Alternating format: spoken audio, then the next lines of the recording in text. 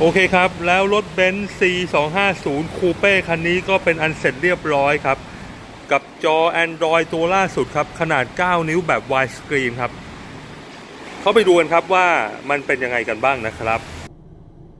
โอเค ตอนนี้ผมก็อยู่ในรถเบนซ์คันนี้นะครับ ซึ่งเป็นระบบ Android จอตรงรุ่นครับ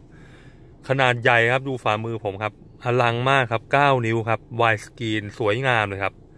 นะครับ แล้วลูกเล่นครับ ครบตอบโจทย์ครับ นี่ครับ หน้าสกรีนเป็นอย่างนี้นะครับ กดเข้าไปแอปพลิเคชันต่างๆได้เลย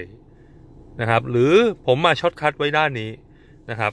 ลูกเล่นครบหมดครับ ไม่ว่าจะเป็น MX Player เรามาดูกันครับ MX Player คือการดูไฟล์หนัง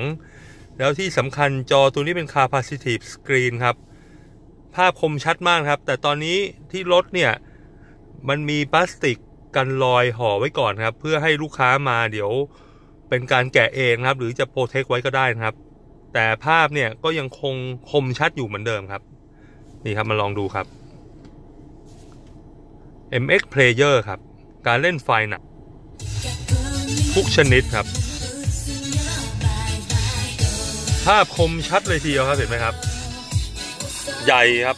สะใจมากครับนี่ครับ แล้วท่านดูครับ ฟังกัน เพลงก็เพาะครับ แล้วก็ภาพคมชัดดูหนังกันได้อัธรสจริงๆนะครับ forward ได้เลยแบบนี้ครับเห็นไหมครับอ่าหลังจากนี้นะครับมาดูครับจาก MX Player แล้ว เรามาดูต่อครับ YouTube ครับ จะดูอะไรครับพิมพ์ด้วยเสียงได้เลยครับ ผมเลื่อนก่อนนะครับ The Rapper เห็นไหมครับว่า ไวมากๆครับ เอาใหม่ครับ ผมสะกดนิดหนึ่งเอาใหม่ The Rapper นี่ครับ The Rapper มาเลยครับ เราก็สามารถจะดูคอนเทนต์ใน YouTube ที่เราต้องการจะดูได้เลยครับ ตอนนี้ครับ ไม่ว่าจะเป็นอะไรก็ตามนะครับ ชีวิตได้เต็มไปด้วยเส้นทาง แบบนี้ครับ เพิ่มลดเสียงจากพวงมาลัยได้เลยครับ ดูครับ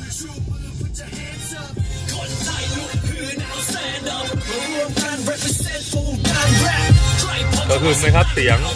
เห็นไหมฮะโอเค YouTube แล้วนะครับ เรามาดูอีกอันครับ จุกครับ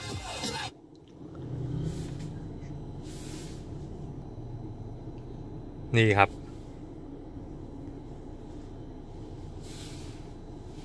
เราสามารถจะเล่นเพลงต่างๆได้เลยครับ โดยที่ไม่ต้องมั่งเก็บแผ่นอีกต่อไปครับ แล้วมีบอกเนื้อเพลงให้ด้วยครับแบบนี้ใหญ่สะใจเสียงดีครับ นี่คือ JOOX นะครับ แล้วอันสุดท้ายครับ ผมให้ดูอันนี้คือไฮไลท์เลย Google Map นะครับ ลองดูนะครับ ผมกดตรงนี้ครับ map มาเลยครับนะครับ อะเราจะไปหา search ด้วยวิธีการก่อนก็ได้ครับ กดกลับไปนะครับ โอเค เมกะบางนาก่อนนี้เราจะไปเมกะบางนา เรา search ด้วยเสียงเลยครับ แบบนี้ครับ เห็นไหมรวดเร็วมากครับ เพราะตัวนี้เป็น Android เวอร์ชัน7นะครับ การปฏิบัติการจะเสถียรขึ้นและรวดเร็วมากขึ้นครับ กับจอ Wide Screen ตัวนี้ครับ นี่ครับนำทางได้เลยหน้าทางตะวันตกเฉียงใต้และที่สำคัญนะครับไปยังถนนหมายเลขสามสามสี่สี่สมมุติว่าเราดูอย่างอื่นอยู่หมายเลขสามสามสี่สี่แบบนี้ครับ เราดูอย่างอื่นอยู่นะครับ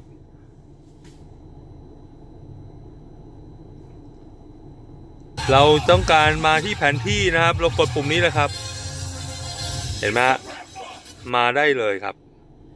รวดเร็วว่องไวมากครับ แล้วที่สำคัญเราก็กลับมาที่สกรีนเดิมได้ เออ ผมลืมอีกตัวครับ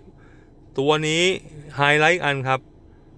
AV ครับ คันนี้สามารถจะดูทีวีดิจิตอลได้ด้วยสว่างใสออร่าพุ่งใน5เห็นวันไหมครับด้วยแล้วเสียงนะครับ เราไม่ต้องเข้าทาง FM อีกต่อไปครับ เสียงคมชัดกริบเลยครับ คันนี้ออร่าพุ่งได้ใน5นะครับลอรีอัลปารีส White Perfect และอย่าลืมสะดวกมากๆครับ กลับมาแผนที่ก็ได้แบบนี้ครับ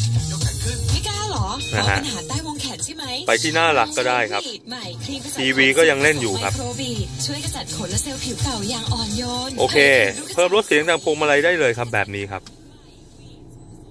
โอเคครับ ความล้ำๆแบบนี้นะครับ ท่านจะหาได้ครับที่มิลาโชโดครับ เราสร้างสรรค์เทคโนโลยีครับ เพื่อตอบโจทย์คนใช้รถจริง ๆ ครับ ด้วยสโลแกน happiness on road นะครับ ท่านที่สนใจนะครับก็ติดต่อมาได้ครับที่ 085 417 4444 ครับ โอเคครับ ก่อนที่จะจบนะครับ เรามาให้ดูอีกอันครับว่าเราสามารถจะกดไปที่ Car System เพื่อกลับไปที่ระบบเดิมได้เลยครับ control screen ทุกอย่างโชว์ได้เหมือนเดิมแบบนี้เลยครับ โอเคครับ ขอจบการรีวิวแต่เพียงเท่านี้ครับ สวัสดีครับ